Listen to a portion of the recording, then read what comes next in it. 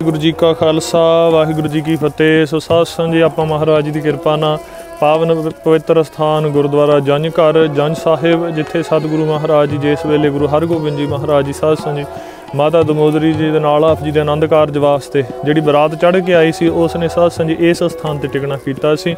ਸੋ ਉਹ ਮਹਾਰਾਜ ਜੀ ਦੀ ਯਾਦ ਦੇ ਵਿੱਚ ਇਹ ਸਾਧ ਸੰਗਤ ਜੀ ਜੰਝ ਘਰ ਗੁਰਦੁਆਰਾ ਸੁਭਾਇਮਾਨ ਹੈ।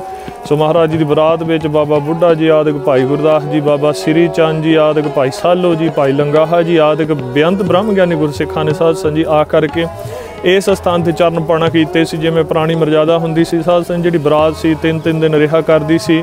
ਸੋ ਇਸ ਤਰ੍ਹਾਂ ਮਹਾਰਾਜ ਜੀ ਬਰਾਤ ਦੇ ਸਮੇਤ ਇਸ ਸਥਾਨ ਤੇ ਸਾਧ ਸੰਗਤ ਜੀ ਆਪ ਜੀ ਨੇ ਠਹਿਰਨਾ ਕੀਤਾ ਸੀ। ਆਪ ਜੀ ਦੇ ਆਨੰਦ ਕਾਰਜਾਂ ਵਾਸਤੇ ਵਾਹਿਗੁਰੂ ਜੀ ਕਾ ਖਾਲਸਾ, ਵਾਹਿਗੁਰੂ ਜੀ ਕੀ ਫਤਿਹ।